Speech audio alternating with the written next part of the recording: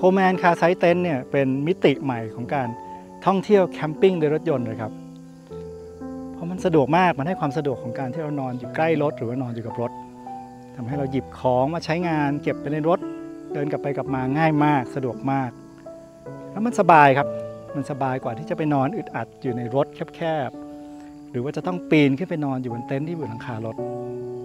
ที่สำคัญเราไม่ต้องดัดแปลงรถเลยครับ เราสามารถจะเอาโคแมนคาไซเต็นเนี่ยมาใช้ได้กับรถหลากหลายรุ่นมาก ไม่ว่าจะเป็นรถ MPV ครอบครัว รถ SUV รถ 4 wheel drive รุ่นต่างๆ ไปจนถึงรถตู้นะครับ โดยที่ไม่ต้องดัดแปลงไม่ต้องไปเติมอุปกรณ์เสริมอะไร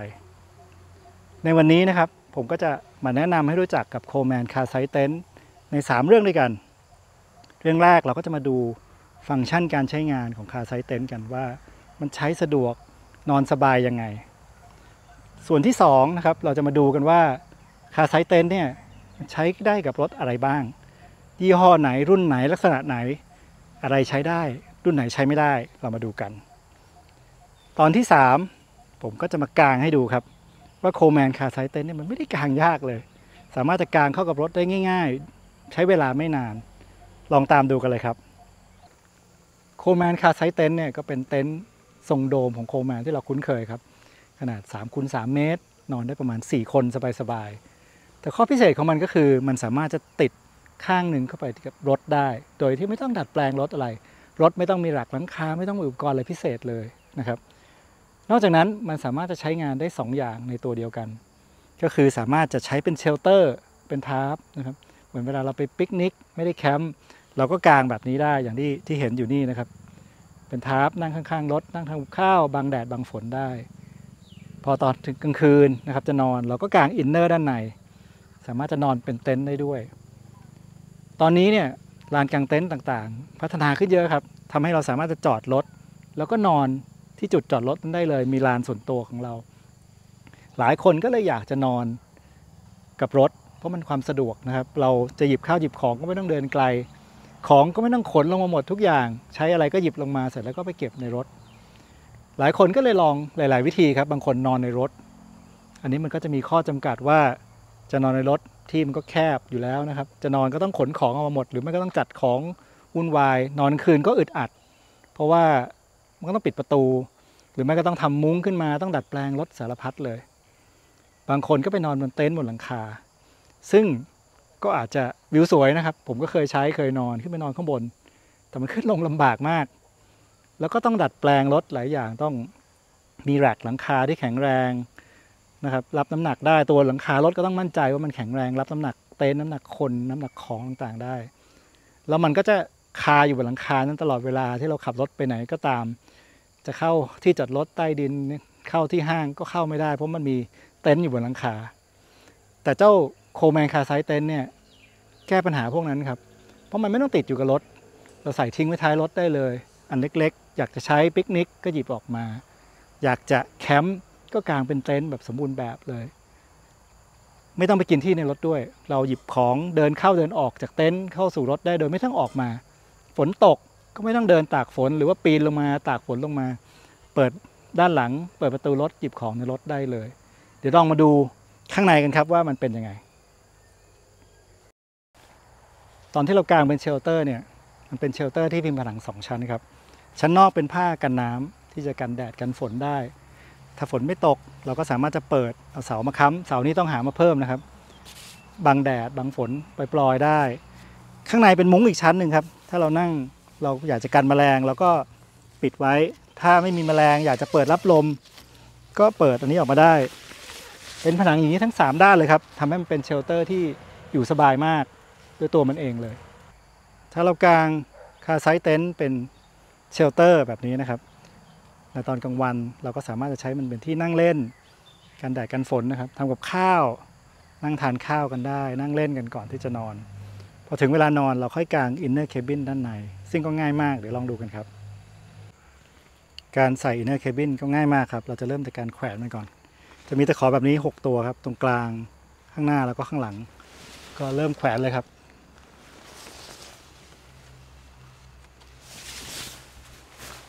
ข้างหลังก็จะเชือกยาวหน่อยนะครับ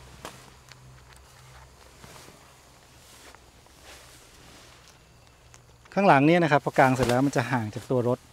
เพื่อให้มีพื้นที่นะครับ เราหยิบของเดินเข้าเดินออกได้สะดวกนั้นก็ง่ายๆครับ ยึดสมอบกทั้ง 4 มุมของ inner cabin พอเรากาง inner cabin แล้วนะครับ เต็นท์ขาไซส์เต็นท์เนี่ยก็กลายเป็นเต็นท์โคลแมนที่เราคุ้นเคยครับ ขนาดกว้าง3คูณ3เมตรนะครับ มีประตูที่เป็นมุ้งเนี่ยทั้งด้านหน้าและหลังทำให้มันระบายอากาศได้ดีนะครับ เวลาที่อากาศไม่เย็นหรือว่าชื้นต่างๆเนี่ยมีประตูหน้าหลังให้ลมผ่านได้ ข้างในกว้าง 3 เมตรเนี่ยทำให้เรานอน 4 คนได้สบายๆผมมาคราวนี้มากัน2คนกับภรรยา แล้วก็นอนคอดคนละตัว มีพื้นที่ตรงกลางนั่งเล่นได้ ถ้ามา 4 คนก็เรียงแผ่นรองนอนหรือว่าคอดไปได้เลย 4 คน ประตูด้านหลังคือจุดเด่นอีกอย่างหนึ่งของคาไซเต็นครับ เราสามารถจะเปิดประตูด้านหลังเนี่ยสมมติว่ากลางคืนนะครับ จะหยิบของอาจจะฝนตกด้วย เราสามารถจะเปิดประตูไปถึงรถได้เลยนะครับ ไม่ต้องปีนลงมาจากหลังคาหรือว่าอะไร ตรงนี้เห็นสังเกตดูมีระยะห่างเต็นท์ไปถึงประตูรถทำไมครับเพราะเขาออกแบบให้เปิดประตูได้ครับสามารถจะเปิดประตูหยิบของในรถได้ ตรงนี้มีหลังคาด้วยนะครับ ทำให้ฝนตกยังไง เราก็เปิดประตูหยิบของรถได้ฝนไม่สาดดีมากครับอันนี้ คราวนี้เรามาคุยกันครับว่าคาไซเต็นเนี่ยใช้กับรถอะไรได้บ้างเขาออกแบบมาให้ใช้กับรถที่มีหลังคาสูงตั้งแต่ประมาณ 160 เซนถึงประมาณ 190 เซนมันสามารถจะปรับได้นะครับ 160 เซนเนี่ยก็ 160 กว่าๆนี่ก็คือรถ MPV ทั้งหลายนะครับ มันจะต้องเป็นรถที่ช่วงยาวนิดนึง รถเก๋ง4ประตูไม่ได้นะครับ เพราะว่า ช่วงหลังคามันสั้นไปเป็นรถ 5 ประตู MPV ต่างๆ เช่น Toyota Cross Mitsubishi Expander นะครับ เนี่ยได้หมดเลย ขยับมาก็คือรถ SUV หรือว่า Four Drive ทั้งหลาย อย่างข้างหลังผมเนี่ย ก็คือ Fortuner สูงประมาณ 173 เซน perfect มาก กลางออกมาพอดีเป๊ะเลย รถ Fortuner ยอดนิยมเนี่ย แล้วก็ Ford Everest ก็กลางออกมาสวยนะครับ Mitsubishi Pajero ได้หมดเลย หรือว่าจะเป็นรถ Jeep Cherokee คันเก่าของผมก็กลางได้พอดีสวยมาก แล้วก็รถ four wheel drive SUV ต่างๆ ที่มีหลังคาสูงในช่วงนี้ใช้ได้หมดทุกคันครับ ให้ดีที่สุดคือใช้กับรถตู้นะครับรถตู้เนี่ยเราลองมาหลายรุ่นนะ ผมเองมี Toyota Grand v i a ก็กลางได้พอดี Grand v i a นี่น่าจะเป็นความสูงระดับสูงสุดที่จะกลางได้ประมาณประมาณ 193เซนติเมตรกลางได้นะครับ Hyundai H1 กลางได้พอดี เอาผาดได้ รถตู้โฟก T3 T4 กลางได้ครับสวยเลย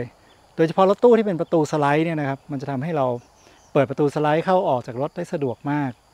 ใช้ได้ดีมากกับรถรถตู้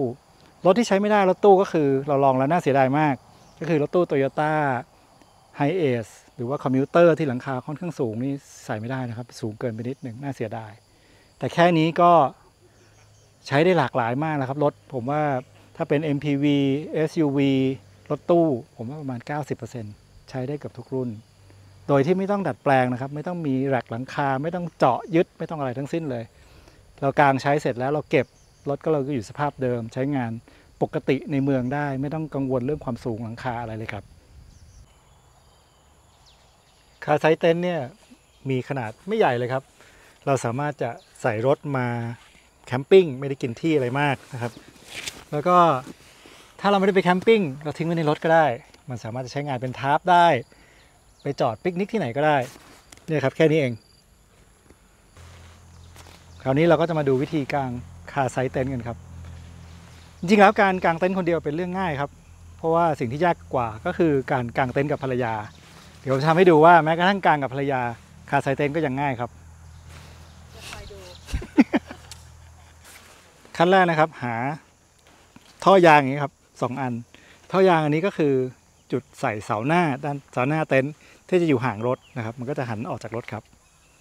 ต่อมาเราก็จะร้อยเสานะครับ มันจะเป็นเสาไขว้อยู่บนหลังคา สังเกตอย่างหนึ่งนะครับ ด้านนี้จะเป็นสีเงินอีกปลายเป็นสีดำนะครับ สีเงินเนี่ยจะเสียบกับท่อเมื่อสักครู่นี้ มันจะหันมาข้างหน้างั้นเราก็จะเอาปลายสีดำเนี่ยสอดเข้าไปครับ ป ลายสีดำสอดเข้าไปนะครับ สอดไปทะลุข้างนู้นเลยครับ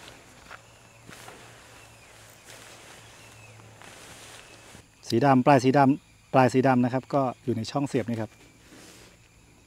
ก็สีดำเนี่ยจะมีสองข้างนะครับ ข้างหนึ่งเรียบๆอีกข้างหนึ่งมีครีบแบบนี้ เราจะด้านที่มีครีบใส่เข้ากับเสาบนครับ อันนี้เราก็จะใช้จุกยางเนี่ยนะครับเป็นยางสุญญากาศเนี่ยยึดเข้ากับตัวรถครับ แล้วก็มาต่อกับมุมด้านในของเต็นท์ เราก็จะเอาจ,จุบยางเนี่ยนะครับมายึดติดกับรถ ทริคนิดนึงครับ เราควรจะเอาเต็นท์เนี่ยคล่อมครอบประตูหลังนะครับเพื่อเราจะได้เปิดรถเนี่ยจากข้างในเต็นท์เปิดประตูหลังหยิบของได้ ถ้าเป็นรถตู้ประตูสไลด์ยิ่งสะดวกเลยครับ เราก็เลื่อนประตูขณะที่เราอยู่ในเต็นท์ได้นะครับงั้นก็เอามายึดที่ตำแหน่งที่บอกเลยครับ ที่ใช้จุบยางเนี่ยนะครับเขาให้มา 2 จุด แต่ว่ามีจุดสำรอง ที่เราจะติดเพิ่มได้อีกถึง 2 จุดนะครับ ในกรณีที่รถเราเล็ก หรือว่าจุดยึดอยากจะยึดให้แน่น 4 จุดเนี่ยเราก็สามารถจะไปซื้อเจ้าจุกนี้มาได้เพิ่มได้นะครับ ไม่ยากเลยมีเยอะแยะไปหมด เราก็หาจุดเรียบๆนะครับ บนหลังคารถหรือว่าขอบประตูกดจุกยางลงไปนะครับ เอารูตรงนี้ครอบแล้วเราก็ไข การไขเนี่ยมันจะดึงจุบข้างในขึ้นมานะครับ ก็จะเกิดสุญญากาศดูดแน่นให้เต็นท์ติดอยู่กับรถนะครับ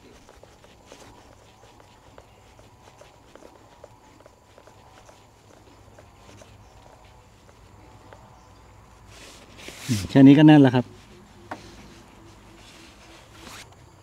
แล้วก็ใส่จุดที่สองนะครับไขเข้าไป แค่นี้ก็เต็นท์ก็ติดแน่นแล้วครับ ถ้าอยากจะเพิ่มนะครับอย่างที่บอกมันมีจุดที่3ที่4เราซื้อจุ๊บยางมาใส่เพิ่มให้แน่นเข้าไปอีกก็ได้ครับ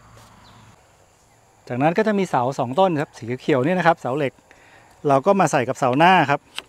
สองข้างนะครับ แล้วข้างล่างก็จะมีเดยเหล็ก ให้สอดกับข้างล่างของเสา แบบนี้นะครับ เต็นท์ก็ขึ้นมาล้วคาไซส์เต็นท์เนี่ยนะครับ ออกแบบมาให้กับใช้กับรถหลายความสูงมาก เพราะฉะนั้นเราต้องปรับตามความชอบของเรานะว่าหน้าบของหลังคาจะยังไง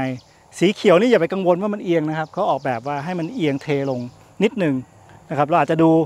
เส้นเนี่ยเหนือขอบประตูนี่เป็นหลักก็ได้นะครับ แล้วก็ปรับความสูงของเสาตัวนี้ตามความพอใจนะครับว่าจะเอาแค่ไหน แล้วก็ตอกสมบกครับ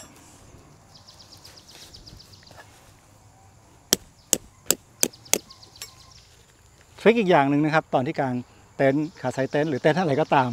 เราควรจะปิดซิปทุกซิปนะครับ เพื่อให้เต็นท์เนี่ยมันมีทรงแน่นอน อีกอย่างหนึ่งครับคือคาไซเต็นท์เนี่ยจะมีเชือกอยู่เส้นหนึ่งด้านหน้า มันเป็นไกด์ไลน์ว่าความ กว้างของประตูเนี่ยควรจะเป็นเท่าไหร่นะครับ เราดึงเชือกนี้ให้ตึง แล้วก็ปักสมออีกข้างหนึ่งครับ ตรงนี้ก็จะมีตะขอเกี่ยวเสาหน้านะครับ ทั้งซ้ายทั้งขวาข้างละสองตัว ก็เกี่ยวไปเลยครับห่วงตรงประตูนี่มีสองอันนะครับ อันนี้ชายประตูนี่ประตู เวลาตอกสมอบกนี่ตอกกับ ชายประตูนะครับอย่าไปตอกประตูเพราะถ้าตอกประตูเสร็จเราก็จะเปิดประตูไม่ได้เข้าไม่ได้นะครับ เต็นท์ที่เข้าประตูไม่ได้ก็ไม่มีประโยชน์นะครับ อย่างที่บอกนะครับ เราก็จะไล่ตอกสมอบก ตรงมุมประตูเนี่ยทั้งสามด้านของเต็นท์นะครับ ดึงออกมาให้ตึง แล้วก็ตอกไปทีละอัน ตอกที่ชายประตูนะครับ อย่าไปยึดตัวประตูเพราะเดี๋ยวเราต้องเปิดประตูได้ ตรงนี้ด้านหลังของเต็นท์นะครับ ด้านหลังเนี่ยที่จริงมันเปิดให้เข้ากับตัวรถ แต่ก็จะมีชายสำหรับบันบังฝนมา ในคู่มือเนี่ยเขาก็จะตามรูปแบบเขาก็จะให้พับเข้ามาอย่างนี้นะครับ แล้วก็ตอกสมอบกยึด แต่ผมพบว่าแล้วแต่รูปทรงรถของเรานะ ผมลองมาสองสาคันแล้ว ถ้าเรามาพาดกับตัวรถอย่างนี้นะครับ แล้วก็ยึดสมอบก อย่างนี้นะครับ มันจะกันฝนสาดได้ดีมากครับ จะไม่มีฝนสาดเข้าจาก ด้านข้างเต็นท์ด้านนี้ เพราะว่ามันบังไว้กับตัวรถ ก็จะมีแถบเชือกสีน้ำตาลนี่นะครับ มันจะพันอยู่กับเสา มีห่วงนี่นะครับแล้วเราก็ดึงออกมาให้ตึง ตัวนี้จะเป็นเชือกไกด์ไลน์ที่จะช่วยดึงเต็นท์ให้รับลมได้ดีขึ้นนะครับ ไม่โยกเยกเวลาถ้าเกิดมีพายุเข้ามา เชือกก็ดึงเฉียงออกมาตามแนวเสาข้างบนนะครับ แล้วก็ตอกสมบกยึดทั้งด้านซ้ายด้านขวาแค่นี้ เต็นท์ก็มั่นคงแล้วครับ เรียบร้อย คราวนี้มันมีข้อเด็ดอีกก็คือว่า ผนังทุกด้านของเต็นท์ทั้งสามด้านเนี่ย มันเป็นผนังสองชั้นครับ ชั้นนอกเนี่ยก็เป็นผ้ากันน้ำแบบนี้ กันฝนสนิท กันลม กันฝุ่นต่างๆนะครับ ข้างในเป็นมุ้งอีกชั้นหนึ่ง เราสามารถจะเปิดชั้นเดียวก็ได้ให้มีมุ้งอยู่ เพื่อจะเป็นที่นั่งเล่นที่กันแมลงอย่างนี้นะครับ อ่าเราก็สามารถจะ เปิดตรงนี้ออกมาม้วนเก็บนะครับ เก็บเข้าไปก็ได้ จะให้ดีกว่านั้นนะครับ เราต้องหาเสาเพิ่ม เสามาเพิ่มนะครับ ก็ต่อชายคาออกมาอย่างนี้นี้นะครับ กางออกไปได้ทั้ง 3 ด้านเลย มันก็จะมีที่บังแดดกันฝนเพิ่มขึ้นมานะครับ เราปรับความสูงได้ต้องการแค่ไหนก็เลือกเสาที่จะใช้ จากนั้นก็มาลงสมอบก ใช้เชือกเนี่ย ขึงสมบกมา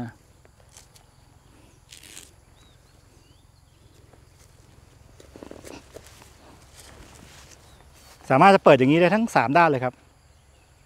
เนี่ยครับเราก็กางเป็น shelter เป็น tarp ก่อนข้างรถ เพราะว่าเวลาเรามาแคมป์เนี่ยไม่ใช่มาถึงแล้วเราจะนอนอย่างเดียวใช่ไหมครับ เราก็มีที่นั่งเล่นทำกับข้าวกันในนี้ได้ ถ้าเกิดฝนตกแดดออกก็มีที่หลบฝนหลบแดด จากนั้น ก่อนที่ถึงเวลานอนเนี่ยเราก็ค่อยเอา inner cabin ข้างในมากาง ก็นอนได้เลยครับข้างในก็การการที่จะได้นอนกับรถนะครับ มันก็เป็นความฝันอย่างหนึ่งนะ พวกเรามีความฝันอยากจะแคมปิ้งอยู่กับรถมานานมากแล้ว ผมเองพยายามจะนอนในรถจี p เชอร์กีคันเก่านี่มา มันก็อึดอัดมาก ตอนนี้ลานกางเต็นท์มันเอื้ออำนวยด้วยครับ ลานอย่างที่เรามาในฮุกก้าก็มีจุดหลายจุดเลยที่เราสามารถจะกางเต็นท์แล้วก็